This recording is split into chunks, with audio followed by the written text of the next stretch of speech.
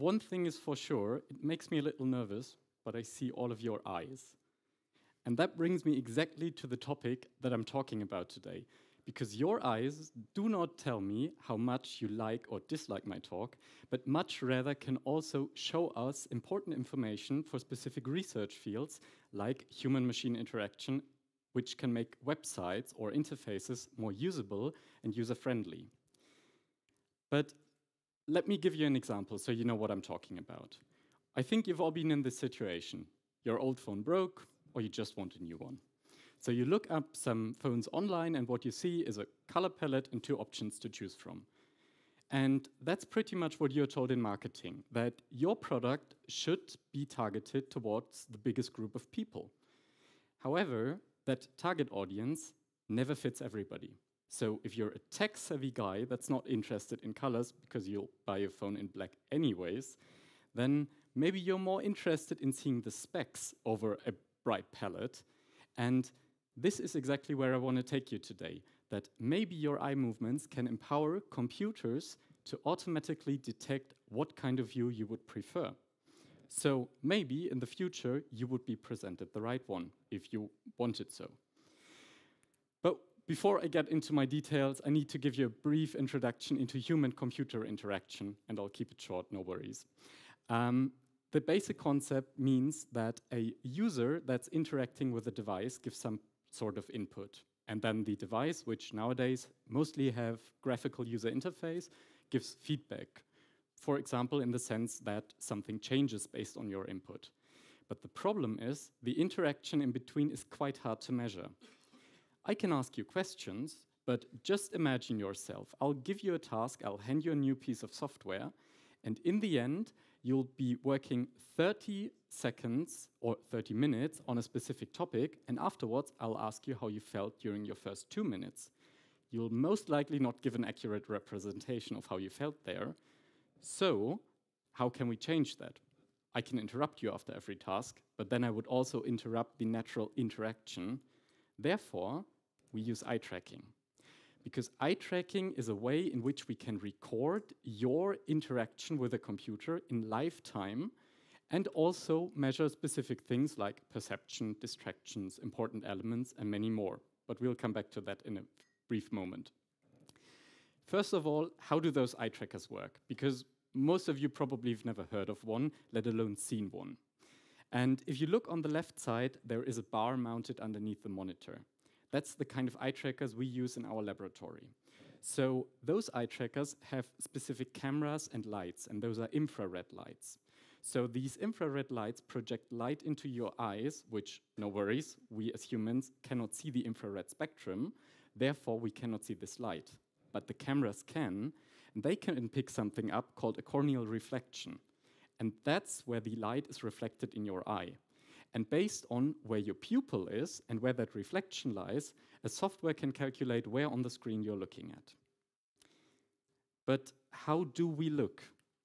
Because if I show you this website, most of you've probably seen it. It's the TEDx uh, website of Regensburg. And that's pretty much the way you've seen it last time. But the truth is, you have not. While we have a quite big field of view, our foveal field of view, in which we can actually process information reliable, is quite small. So if we wanted to read the home button, we would have to focus on it. And then when we want to look at something else, we have to move on until we arrived at our information, and then we can process that again. And so on, and so on. And what I've showed you here is the core principle of eye tracking. It's called a scan path. And the scan path just displays where a specific person is looking to. So you see the one, that's where the person started. Then you see number two and number three. And that's the way they started looking. And the size says how long you've spent time looking at this point. And what I've just explained you are so-called fixations and saccades. Saccades are the movements in between those points, the fixations, and during those movements, you're pretty much blind because they happen so fast that you cannot process any information reliably in between.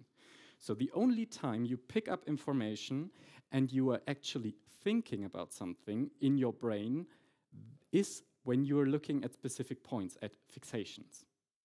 And there are a couple of different metrics. For example, we can take those fixations, combine them into a heat map, and give you a representation of where you spend the most time looking at. Or you can define areas of interest, which are most important for us researchers, because then we can measure how long it takes a participant, for example, in order to arrive at a specific area. But let's not get into too much detail. Just an information for you the eye trackers that are deployed in our laboratory can measure over 200 different metrics. So that's just the tip of the iceberg. And why does eye tracking work?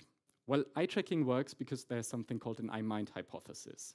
This eye-mind hypothesis has been proven in linguistic sciences and basically says what I've explained you before. When you're focusing at a specific object, in this case a cat, then your brain is automatically processing this information. So you're looking at the cat, you're thinking at the cat. And let's jump into linguistic science so you know what I'm talking about. I brought a paper with me that I just stumbled across recently, and they have a pretty good explanation. They gave two different people, or a general a group of people, sentences to read. And the first one says there are concerns over the company's proximity to the Chinese government, while the second one says, however, some countries are already preparing for the next year. Many of you probably already recognized, but the first sentence is much harder. Because we have specific constructs we are not used to in our language, because the uh, apostrophe at companies and the word proximity are quite hard. Proximity is not necessarily in beginner's vocabulary. So, this is where the participant spent the most time looking at because he had to make sense of the word. Because he didn't understand proximity right away, that person had to think what the translation to proximity would be. And when we have a simpler sentence, we just flow along. It happens naturally. But that's pretty academic. I think I need to give you an example that all of you know about. And for those of you who don't know, it's displayed here again. That's the Star Wars intro that's displayed before every movie. Why am I picking that up? For a pretty simple reason. Another paper analyzed it using eye tracking. And they put two different groups of people in front of the intro, and they asked them to read it while it was scrolling along. One group was native to English, and the other one was a learner. So I need your participant right here. For every one of you who thinks the left side is the native speaker, please raise your hand now. One hand, two, three, four. Okay, let's say less than 10 hands. That's less than 10% of you. And those 10% were right. Why?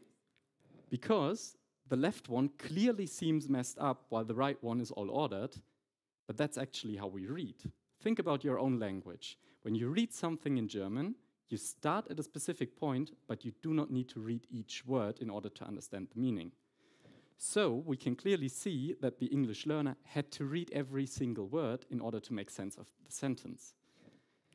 And coming back to usability, where I actually wanted to head, in this paper, they used this information and said people are fixating words they have trouble understanding. So they implemented a live tool where people could read series with subtitles, because that's how we learn languages nowadays. And they found out here that the person had problems with two words, dehydrated and fluorescent. Same as proximity, not easy words to understand. So they gave the natural translation, in this case in Chinese, because Chinese was where the study was done.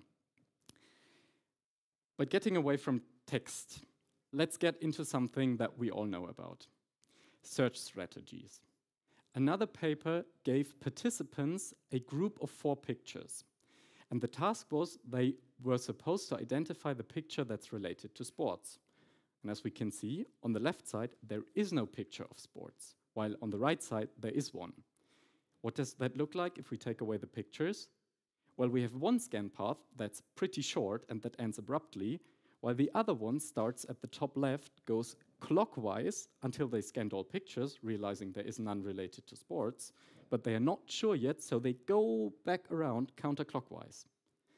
And because we know who of those people had the picture related to sports, we know that probably the first scan path is connected to a user that does not need support because that person found what they were looking for. And the other scan path is probably a user that's confused why there is no picture related to sports. And that's pretty easy to understand if we take it to a website, for example. All of you have been there. You looked for some information, but it's not right there, so you keep scrolling and looking through the page, and you don't find what you're looking for. Maybe in the future, there are eye trackers that automatically realize you're the bottom user, so you need support. Then you're getting support in, for example, the way of a chatbot or some actual support by a human, but you get help because you look confused. And that's all the information we have in eye tracking. Only I kept a little secret from you.